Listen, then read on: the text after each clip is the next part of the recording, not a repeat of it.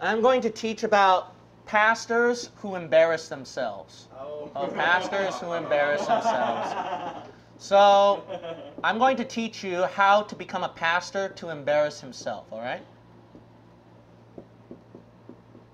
Now, how you can embarrass yourself as a pastor. So this is really good stuff. You you all want to watch this video.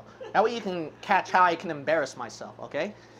Now, Pastor Gene Kim can embarrass himself and how other pastors out there can embarrass themselves is by doing in this method. Okay, so first method is this, is that the first thing how pastors can embarrass themselves is that they're not in right doctrine.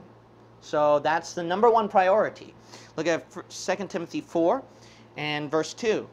Preach the word. That's the pastor's job, right? Amen. Preaching the word. Be instant in season, out of season. Reprove, rebuke, exhort with all what? Long suffering and what? Doctrine. For the time will come when they will not endure sound doctrine, but after their own lust shall they heap to themselves teachers having itching ears, and they shall turn away their ears from the truth and shall be turned unto fables. So that's the pastor's job. The pastor's job is how he embarrasses himself is he fails in 2 Timothy chapter 4 is in all right doctrine. You know another thing is this? Another thing is this.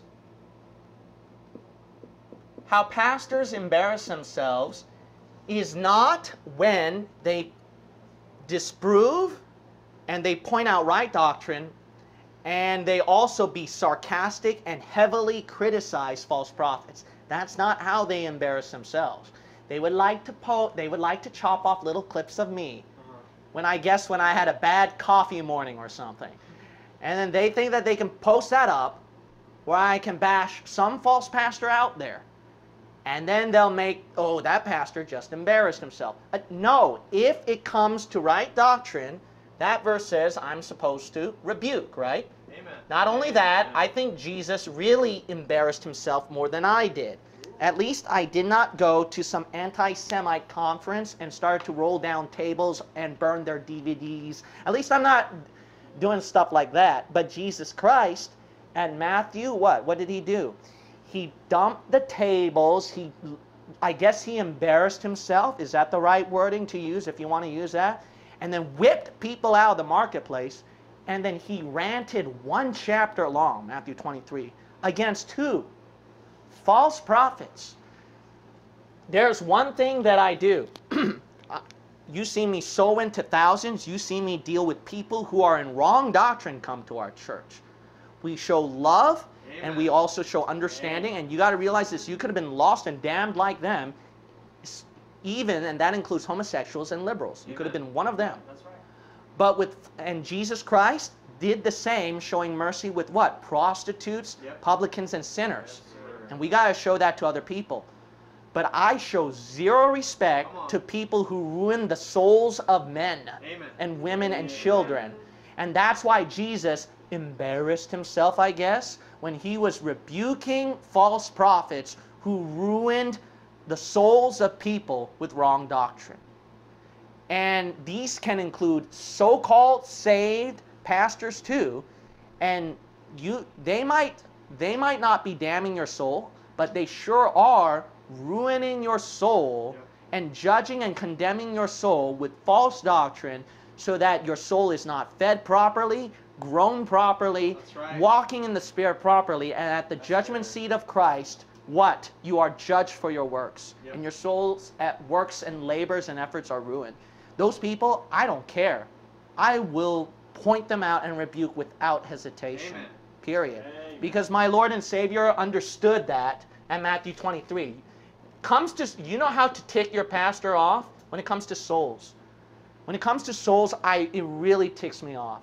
Because how hard is it to find Bible believing truth? And you people online and right. people who came to our church, do you know how hard it was for you guys? Yes. You know why? It's because of the wicked, those wicked pastors out there who produced a maze and a complication where you end up like an atheist who's a relativist where it says everything is relative. That's what you come down to in the end. And I have zero respect for people who produces that kind of confusion. So if it comes to doctrine.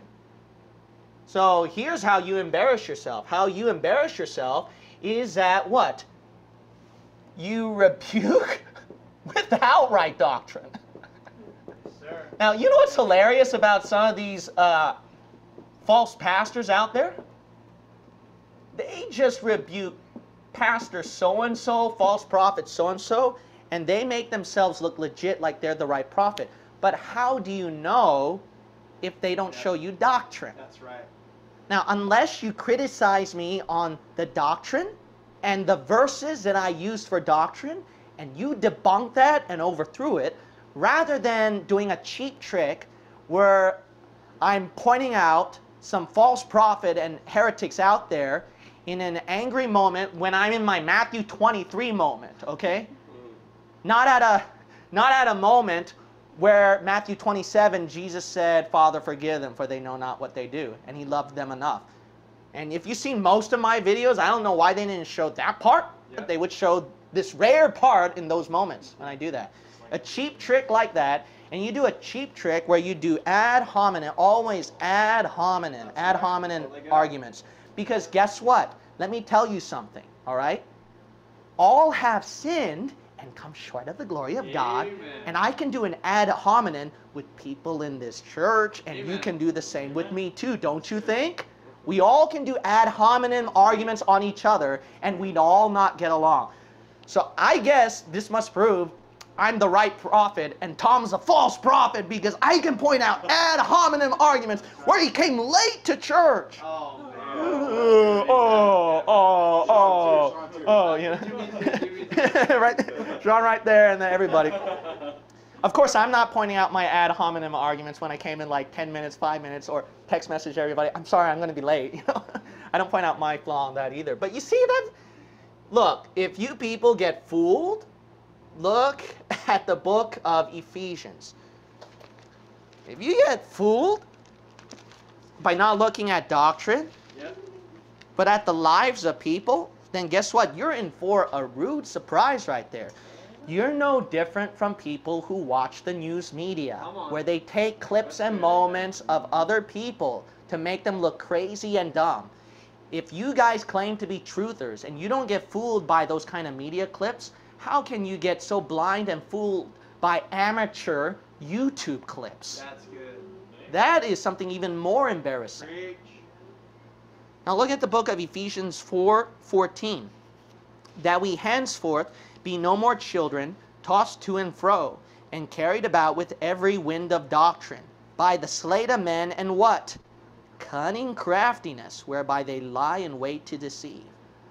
They do a crafty job yep to point out a flaw, yes, and you carried a, you get carried about by their wind of doctrine because they put up some kind of dramatic music at the end, like, ah, and then you start to cry, and then they put some dark music at the background with Gene Kim talking, you know, yeah. dun dun dun, you know, and that's supposed to scare people by, oh, you know, he must be teaching something wrong. Really, teaching something wrong?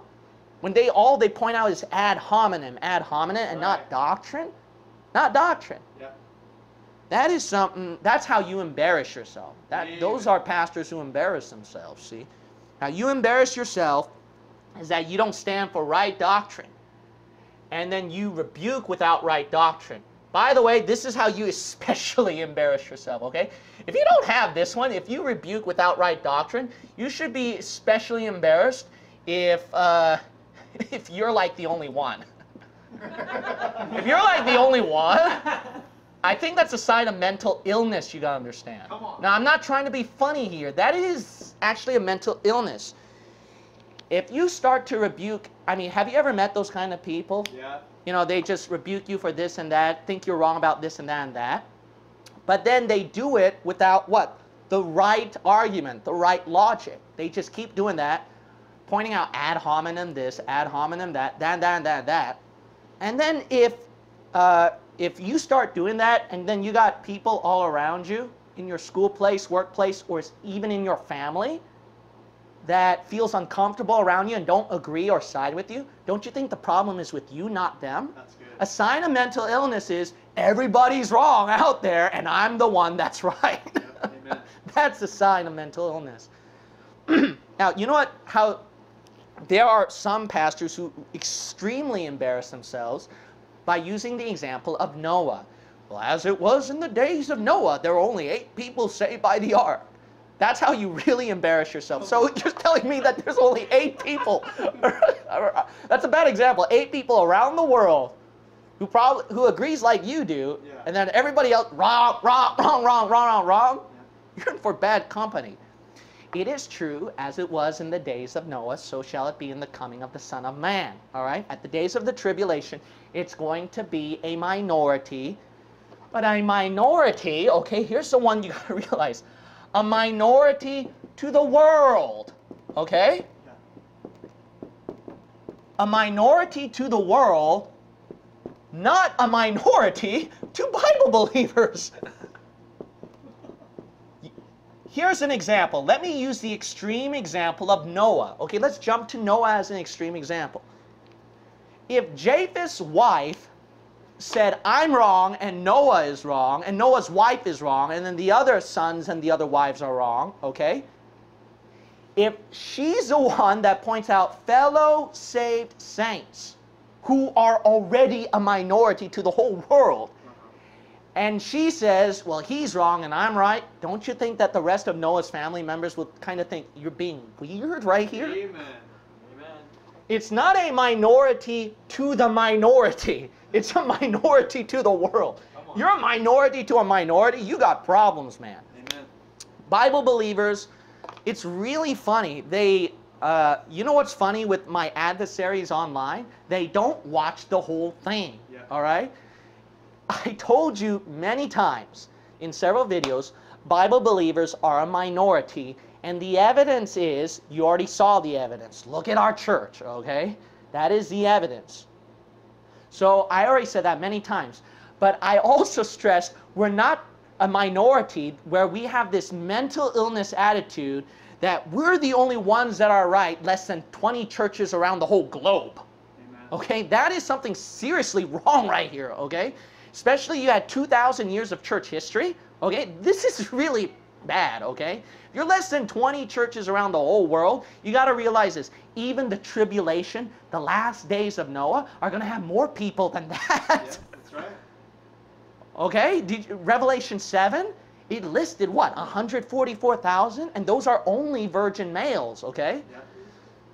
And you got to realize this it's still a minority to the whole world, okay? To the whole world, it's a minority, okay? If you got like average two Bible believing churches per state, that's pretty, that's really small, ain't it? That's really a minority. But if you're one Bible believing church covering 10 states right there, I think that's something serious right there. But here's another sign of a pastor who embarrasses himself, okay? This is important to understand. I don't know why people, secular scholars even know this. And they can see a cult leader when they see it. Yeah. You know what another sign of a cult leader is? This is extremely important. Do you know why our church is small? Because we're scattered. We're not in one place Yeah. we're scattered. A sign of a cult leader is that there's so much a minority that people start moving down. Uh-huh. People start moving down because they think there is no other church out there except so and so down there. And people move down, and that's how you build a bigger church. You see that?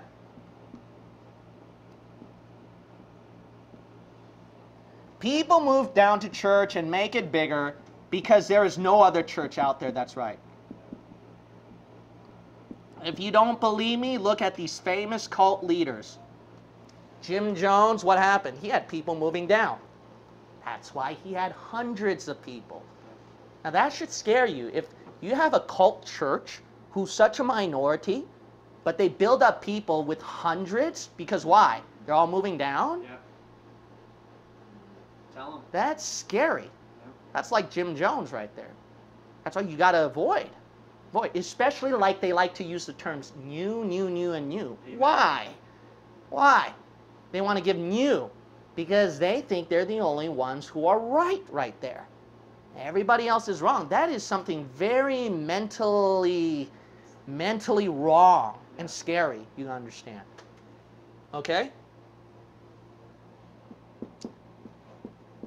You know what we do with our people? We our church could have gotten bigger if I said I'm if if I said I'm the only one that's right or if I had like 10 more scattered far away and then those are the only ones that are right. But how many people have we seen online asking for a Bible believing church and I refer them to their states and not just America around the world. That's right. And if you don't have a Bible believing church that's not English speaking, if you don't have a right church that's not English speaking around the world, it's only English speaking people or one particular country, that's another sign of a dangerous cult. Didn't you know that? In Korea, we're infamous for our own little cults. You know why? It's in our own little nation. No other churches out there have that. Sun Myung Moon, those guys, it's only his kind of culture and language out there. And then uh, you got these English-speaking people, and then uh, Filipino. They even have their own little cult growing in the Philippines and other places. That's how cults are. They don't study history. They, this is just secular statistics, even. Okay, so this is just common sense. Bible-believing churches, we're all around the world. There's thousands of us around the world. We're in many different languages.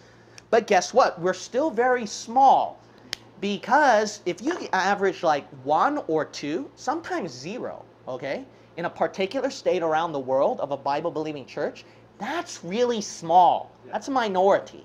That's truly like in the days of Noah. But these guys, see, God was saying minority to the world, but no, these guys are a minority to fellow King James only, dispensational, Yeah. Bible believing preachers, and we have a history that supports it too. Yeah. So this is not a cultic thing. And people who s- suddenly come out and say, no, that thing's wrong, my church is right. If I had some member, if we had one member in our church doing that, wouldn't the normal reaction for you people is to be scared about that? Yep, that's good. But you see how cults build up? Many people, they get brainwashed because they're not grown in doctrine properly. Amen. So it's so sad how many people follow the teachings of a cult. They go down, I kid you not. There are these King, I'm kidding, I'm not kidding you. These are King James only, fundamental independent Baptist churches out there who will accuse me and accuse fellow King James only Baptist dispensationalist preachers as being lost for hell. Yeah. And there are people who blindly believe in that with logic, and they will use some logic and nitpick verses to kind of indicate that.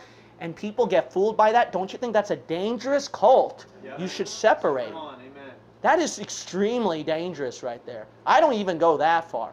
I rebuke false prophets, but I don't say all of them are lost. Even the ones who are uh, like really bad in doctrine, I don't consider them to be lost. I give them a possibility. It's possible they could be saved. But this is really dangerous stuff. That's how you become a pastor who embarrasses yourself, and you should avoid those people. The basis, see, the key basis is this. The key basis is doctrine. So pay attention to doctrine, not ad hominem, not nit, not uh, nitpick clips, not the tone of the music and the tone of the voice, Yeah. not by the professionalism of the graphic quality. That's how YouTube. You got to realize this. You got to ask yourself this serious question: Do you not think? Do you honestly not believe there is not a YouTube, not a single YouTube cultist out there? That is something seriously you got to ask yourself, especially since YouTube is such free access, you can post it. Post it. You don't think cultists will not take advantage of that? Amen. Well, well, how do we, you might be a cult too, Pastor? Well, one, I got so many different Bible believers, and I named them several times in videos, so you know I'm not some strange, weird little cult, okay? Because we even have a church directory we refer to you to even in different countries. But number two, that's not the main basis. The main basis is how often have I told you to look at the Bible? I quoted verse after verse, right. and not just one verse like cultists will do. Yeah. I show you verse after verse after verse. And look, don't just watch. That's how cultists fool you. You just watch. Yeah. You don't look at the verse. Did you look at the verses that I mentioned? Did you look and did you pray and meditate before making a conclusion? I agree or disagree. Don't agree with what I'm saying and don't disagree with what I'm saying if you did not look at the verse first or paid attention to the verse first. See, that's not what a cultist will tell you. Here's another thing about a cultist. One more sign of a cultist, of a pastor. You got to, and I will close it right here. These cultists, what they will do is that they they will become afraid when some member in the church is shown some right doctrine and a cult leader will overcome that person and tell that person don't study it. Don't investigate the scripture. That's right. that's the biggest sign of a cult leader. That's right. that's the biggest sign. I don't do that. I say look at the verse. Amen. That's why we're here. all right? That's the biggest sign of a cult leader. So that's how you become a pastor who embarrass yourself all right if you saw that out of me in all these videos and wow i embarrassed myself i, I apologize you know i should put dramatic music in this one Ooh, like this so that you all can avoid me Come on. Get all right, but if you watch, so I'm telling you, me too, I'm including myself. If you put me or any other pastor out there that gives those kind of cultic signs, avoid them.